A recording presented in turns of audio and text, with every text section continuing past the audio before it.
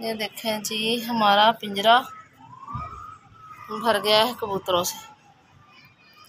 और बच्चे इनके दो बच्चे थे बड़े हो गए और बाकी जो बिल्कुल छोटे छोटे थे जो भी अंडों से निकले थे वो तो मर गए। और अंडे भी अंडे ख़राब हो गए? जी। हैं? वो ख़राब हो गए? इधर देख तो सही। है शर्मा रहा है ये। और ये देखें जी, कराची का मौसम, गर्मी बहुत ज़्यादा है। अच्छा भला मौसम था, और ये देखें जी, ये घर बन रहा है।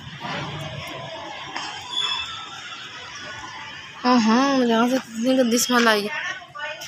और देखें जी। मैं छत पे ऊपर अकेली हूँ, क्योंकि लाइट नहीं है, और मैंने अभी बनाना है सालन।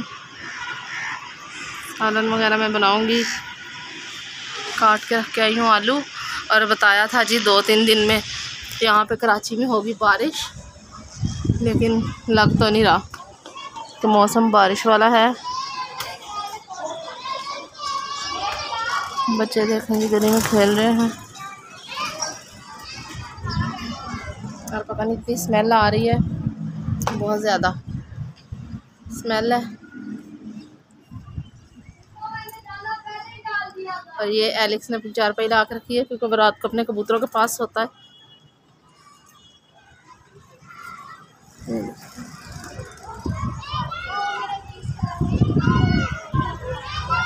कराची में हर किसी की छत पे कबूतर कबूतर कबूतर। अब मुझे तो ये चीज़ अच्छी नहीं लगती, क्योंकि मैं कहती हूँ कि भाई, ये ऐसे ही है, फजूल शौक़ है। जो पढ़े लिखे बच्चे होते हैं, उनका तो ये मतलब ऐसे नहीं होने चाहिए, शौक़ जो पढ़ने वाले बच्चे होते हैं। तो अब हर, लेकिन हर किसी बच्चे का अपना शौक़ है, अपनी वो है कि क्या करते हैं, कैसा शौक़ किसी का, हर किसी का अपना वो है। वो देखे जी, छत पे भी कबूतर उड़ रहे हैं, आसमान पे, वो देखे सामने। इस वजह से जी। हाय, गर्मी का हाल देख लें बहुत गर्मी है और बस।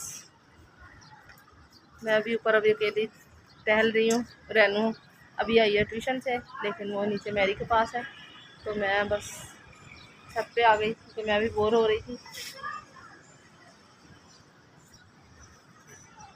और बस पता नहीं कराची में बारिश कब होगी और हम लोगों ने भी जाना है पंजाब दिसंबर में, अब देखते हैं कि तो पंजाब हम कब जाते हैं और कब नहीं जाते। और आ गई है रैनू भी। रैनू भी आ गई, रैनू से मिले रैनू ट्यूशन से आ गई है। तो मैं अब बोर हो रही थी, मैं यहाँ बैठ गई। कबूतर अच्छे लग रहे हैं? रैनू को भी जी बड़ा शौक है तो लेकिन हम तो नहीं रखेंगे, क्योंकि तो मुझे ये चीज़ पसंद नहीं है। कबूतर अच्छे लगते हैं, लेकिन घर में रखना मुझे पसंद नहीं है। तो क्योंकि हमारे गाँव में भी, हमारे रिश्तेदारों ने भी सबने रखे हैं, मेरे कज़नों ने भी, और मेरा भतीजा है लाहौर में, उन्होंने भी कबूतर रखे हुए हैं, और गाँव में भी मेरे भतीजे हैं, मेरे कज़न हैं, चाचू, ताया के बेटे, उन्होंने भी रखे हुए हैं कबूतर। तो लेकिन शुक्र है कि मेरे भाइयों का ऐसा शौक कोई भी नहीं है कबूतरों वगैरह, कबूतरों शबूतरों का, वो ऐसे शौक नहीं रखते, उनके, मेरे भाइयों को शौक नहीं है कबूतर वगैरह पालने का। तो बस अभी हम लोग दिसंबर में शायद जाएँगे। और महँगाई इतनी हो गई है कि क्या बताएँ, बस बड़ी परेशानी है। कुछ पता नहीं चल रहा कि क्या हालात होने हैं। तो हम लोग भी पंजाब जा पाते हैं कि नहीं? जा पाते। वैसे जाना तो मैंने, मैं कहती हूँ कि ज़रूरी है, मेरी एक ही बहन है। उसकी बेटी की शादी है तो मैं तो सबकी शादियों में जाती रही हूँ। बाकी सब रिश्तेदारों की और जब मेरी अपनी बहन की बेटी की है तो मैं ना जाऊँ तो बहुत बुरी बात है। और वो देखे जी पतंग कितना खूबसूरत उड़ रहा है। ब्लैक और फ्रोज़ी है, बहुत ज़बरदस्त है। पतंग बहुत अच्छा लग रहा है। ये देखें जी, और वो देखे रैनू बैठी है, कबूतरों की रखवाली करती है। रैनू? मेरी नहीं आई? सो रही है मेरी? ये देखें जी, अभी गर्मियाँ आएँगी तो फिर हम सोएँगे। रात को लाइट चली जाती है। रात को भी लाइट, पता दो दफ़ा गई थी।